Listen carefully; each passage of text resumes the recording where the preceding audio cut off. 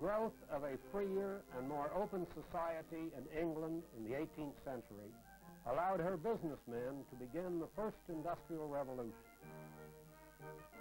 But on the continent, government restrictions on freedom delayed industrialization. In the hundred years after 1750, England developed an economy of such unparalleled productivity that it became known as the workshop of the world. The third and final film in this series is concerned with the effects of industrialization upon the lives of ordinary people. Was the Industrial Revolution a good or a bad thing for most people? For example, was it as bad as the elder Arnold Toynbee declared? A period as disastrous and terrible as any through which a nation ever passed. Side by side with a great increase in wealth was seen an enormous increase in pauperism. Production on a large scale led to a rapid alienation of classes and the degradation of a large body of producers. Toynbee wrote in 1883, but already in 1830 there had been a fierce debate about the consequences of the Industrial Revolution between Robert Southey, the poet laureate, and Lord Macaulay, the historian. Southey had written, The immediate and home effect of the manufacturing system is to produce physical and moral evil in proportion to the wealth which it creates. Macaulay disagreed and argued that since 1800, We must confess ourselves unable to find any satisfactory record of any great nation, past or present, in which the working classes have been in a more comfortable situation than in England. The serving man, the artisan, and the husbandman have a more copious and palatable supply of food, better clothing, and better furniture. the same disagreement can be found today. When Nobel Prize winner Bertrand Russell wrote, The Industrial Revolution caused unspeakable misery, both in England and America. Nobel Prize winner F.A. Hayek replied that this view is based on a myth. The legend of the deterioration of the position of the working classes in consequence of the rise of the industrial system. Such disagreement between such distinguished scholars has caused confusion among students. No wonder an American historian has declared There was probably never a more blatant case in the history of economics of two opposing schools of thought derived from a single set of phenomena. We asked Professor R.M. Hartwell of the University of Oxford for his view of this great debate. To me, the debate is a strange one because it is based on an apparent paradox. A massive increase in the production of goods and services relatively to population along with an alleged reduction in the standard of living. To settle the issue, we must look to the facts of history. As this workers' cottage here in the north of England open-air museum demonstrates, the facts of history are against those who believe that living standards moved downwards during the Industrial Revolution. On the contrary, the facts of history show that between 1750 and 1850, average real income per head in England increased between 50 and 100 percent. Over the entire 19th century, there was a fourfold increase. When these figures are translated into goods, the most obvious change was in the amount and the variety of consumer goods available to the English people. Comparing the 18th with the 19th century, there was a general change from a meagerness of personal possessions and a low consumption to a growing ownership of possessions and a higher consumption. The Great Exhibition, with its 17,000 exhibits, demonstrated the choices of a consumer-oriented society. England, in its profusion and diversity of goods, had become the first consumer society, a society in which production was geared to consumer satisfaction and in which consumer choice was greatly extended. The Industrial Revolution was a revolution in production, and it is relevant to ask what happened to the goods produced. The answer is that the great bulk of these products were consumed by the British people themselves, supplemented by an ever-increasing stream of imports. And increasing consumption was not confined to manufactured goods. Comparing eating habits in the 1850s, a contemporary observer concluded, How much better an Englishman is fed than anyone else in the world. Grain and meat production in Britain, for example, kept pace with the growth of population. And diversity of produce was increased with the expansion of orchards and market gardens, for example, in the Thames Valley near London. And with the growth of the fishing industry, especially in the North Sea, imports further expanded the quantity and variety of foods available, increasing the consumption of beverages, tea, coffee, and cocoa.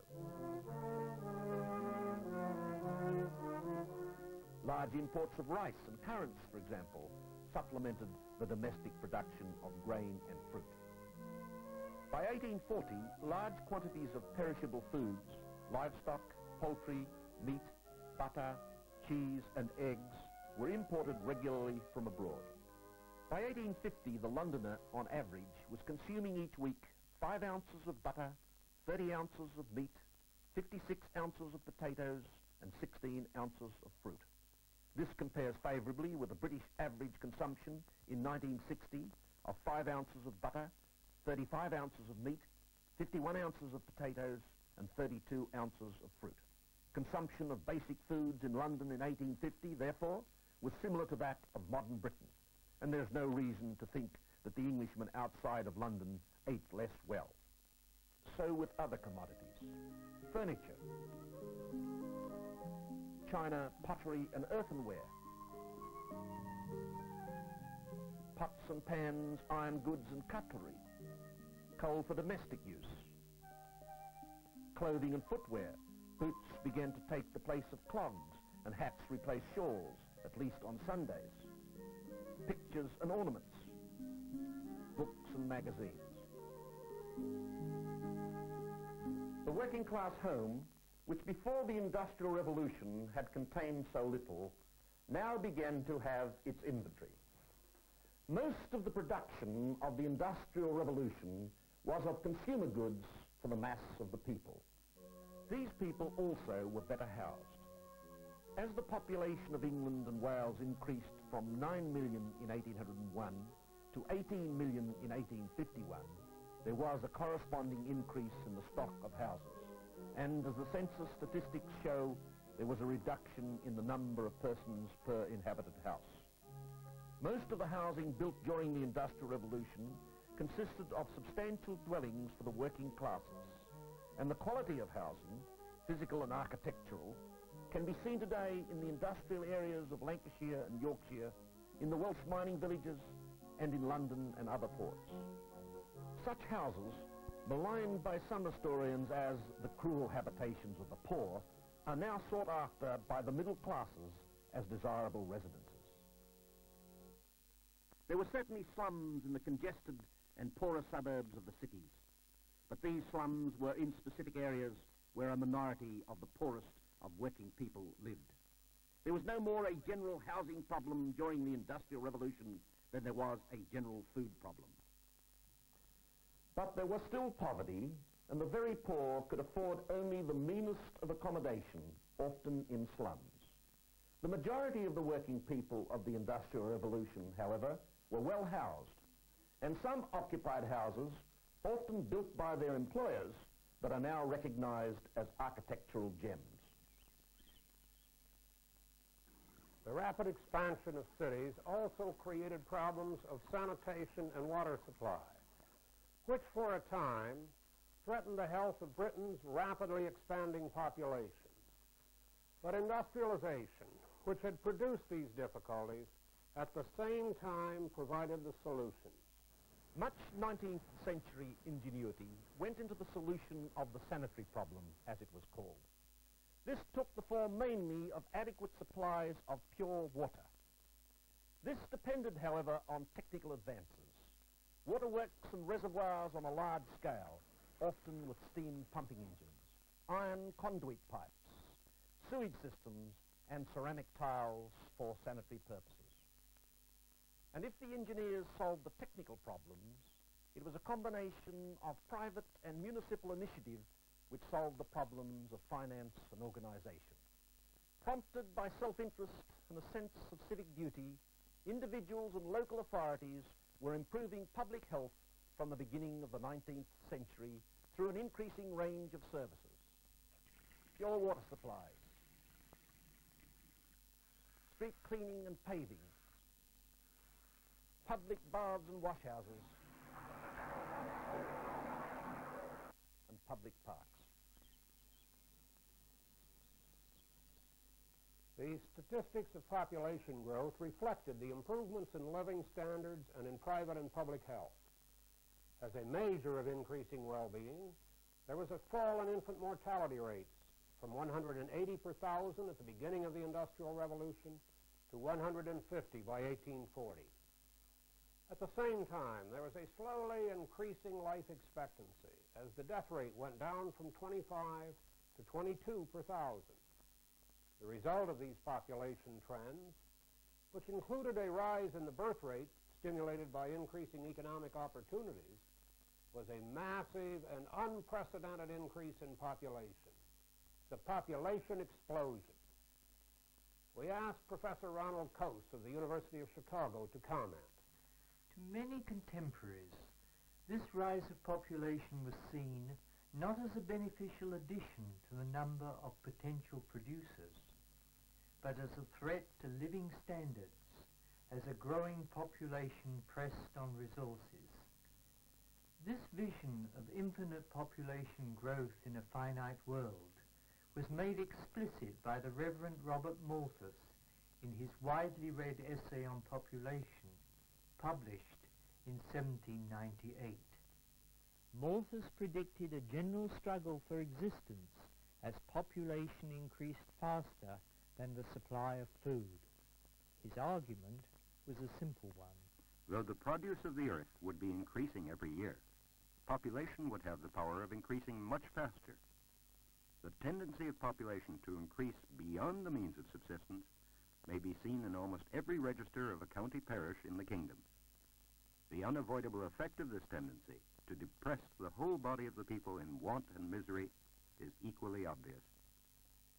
Malthus' theories made a great impression, in part no doubt because the accurate counting of the population in the first three censuses of the 19th century confirmed that population was in fact increasing very rapidly.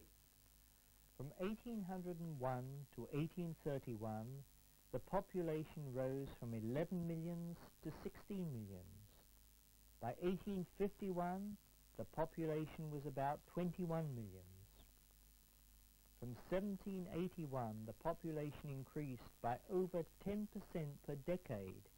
At its peak rate, between 1811 and 1821, it increased by 17%. These figures were high, but the British population increase occurred in an economy that was industrializing rapidly, in which the proportion of the population working in agriculture was declining and in which output per head was greatly increasing. The British pattern contrasted markedly with that of Ireland between 1750 and 1850, where there was a rapid growth of population without industrialization, culminating in a Malthusian crisis in the 1840s, the Great Famine.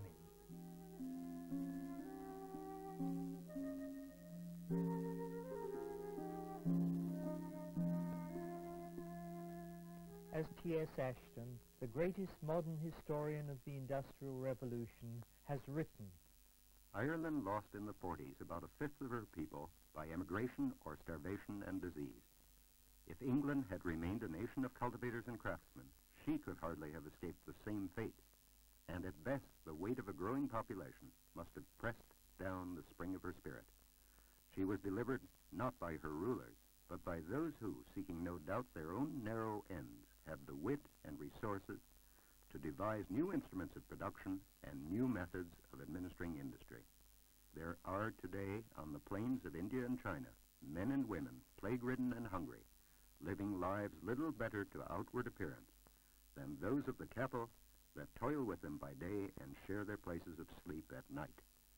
Such Asiatic standards and such unmechanized horrors are the lot of those who increase their numbers without passing through an industrial revolution. The standard of living was rising, however, it was not rising quickly enough to be plainly obvious to everyone. Any individual worker was aware only that his wages were not sufficient to satisfy his wants. As the English statistician A.L. Bowley has pointed out, The idea of progress is largely psychological and certainly relative. People are apt to measure their progress, not from a forgotten position in the past, but towards an ideal which, like an horizon, continually recedes. The present generation is not interested in the earlier needs and successes of its progenitors, but in its own distresses and frustrations, considered in the light of the presumed possibility of universal comfort or riches. Yes, there was discontent, based not only on this psychological reason, but on frustration, because industrialization did have its casualties, especially those workers displaced by machinery, like the cotton handloom weavers. There were also fluctuations in trade and hence employment that caused great hardship. Some workers reacted violently, like the Luddites who smashed machinery, but these were a minority and a minority that declined. Most workers accepted industrialization and its opportunities and sought to resolve their grievances by forming trade unions and by working for a more representative parliament. The important thing about economic grievances during the Industrial Revolution was that industrialization itself provided the solution, increasing productivity, leading to increasing real incomes and widening job opportunities. And for all social problems, the success of industrialization bred a new attitude towards the possibilities of progress. Social ills were seen not as old ills to be endured, but as new ills to be remedied either by private or public action. And there is impressive evidence of this new concern, not only in the founding of a myriad of charitable institutions, but in parliamentary inquiries into social problems, inquiries that were published and now fill large sections of our public libraries. Child labour, for example, which had been accepted over history as inescapable, even desirable, now came to be seen as socially unacceptable in a civilized society. Publicised by humanitarians, investigated by Parliament, child labour was reduced by legislative action. There is probably no other aspect of the Industrial Revolution which rouses so much passion and compassion as the employment of children in factories.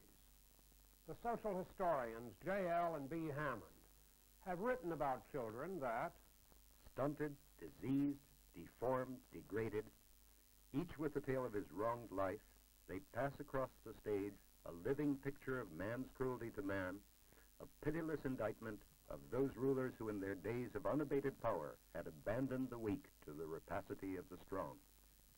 here we have one of the most contentious points in the great debate, child labor. How true is that picture the Hammonds give? Children certainly worked during the Industrial Revolution, but the picture of a new and undesirable phenomenon peculiar to industrialization has to be modified in several ways.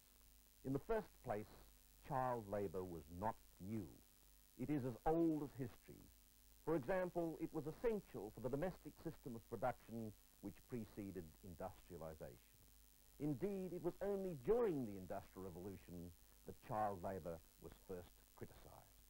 The response of an industrializing society to the employment of children was to reduce or abolish it. Secondly, the employment of children in agriculture continued during and after the Industrial Revolution. As the Oxford economic historian J.E. Thorold Rogers wrote in 1888, The work of the child in the fields, ill-fed, poorly clothed, and exposed to the worst weather in the worst time of the year, was to the full as physically injurious as premature labor in the heated atmosphere of the factory. Thirdly, those opposed to factory legislation had little difficulty in disproving general complaints of cruelty, overwork, bad health, and declining morals. There were individual cases of hardship, but the critics of the factory employment of children exaggerated their claims, and historians have since shown that much of their evidence was biased, depicting the worst rather than the best or the typical. Most children were not badly treated nor permanently harmed by their experience in the factories. My fourth and last point is one of common sense. The responsibility for children working rested more with parents than with employers, and it is difficult to argue that the majority of parents did not care about the working conditions of their children and that they were prepared to accept excessive work and cruelty. Some historians have criticized the rulers of Britain during the Industrial Revolution for their indifference to social problems. The same historians get their evidence for this alleged indifference from the official papers which were generated by Parliament in an effort to understand and solve such problems. Rulers and employers in the 19th century combined humanitarianism with a high sense of social duty, which reflected itself in legislation to remedy social problems and in action by individual employers to improve the wages and living conditions of their workforce. This beneficial concern could still be seen, for example, in such model industrial villages as Saltaire, built by the mill owner Titus Salt, and Styal Village in Cheshire, built by the mill owner Samuel Greg. Industrialization meant increasing real incomes. Higher incomes meant widening life choices. And so self-help and voluntary effort were basic to personal progress. This can be seen clearly in education, where there was little public provision before 1870, yet widespread literacy. A private schooling system had developed over the period of the Industrial Revolution, which had doubled literacy rates with little help from the state and had made England as literate as other European countries where extensive state educational systems already existed. The Industrial Revolution was accompanied by an educational revolution without the help of the state. 19th century England was rich in voluntary organizations with a wide range of social purposes in medicine, education, religion, housing, and recreation, for example organizations which drew deeply on the wealth of the middle and upper classes and often combined employer and worker in common purpose. Other working class organizations flourished besides trade unions. Friendly societies, educational and political societies, cooperatives, which not only increased the self-respect, but also the political and industrial power of working people. This largely explains the political stability of 19th century Britain. The majority of workers, as a result of being better fed, better housed, and better educated, were less degraded than in previous periods. They were also less violent, and this from choice, not from coercion. Only an observer as insensitive to the character of the English working people as Frederick Engels could have imagined seriously that they were desperate and revolutionary as a result of industrialization.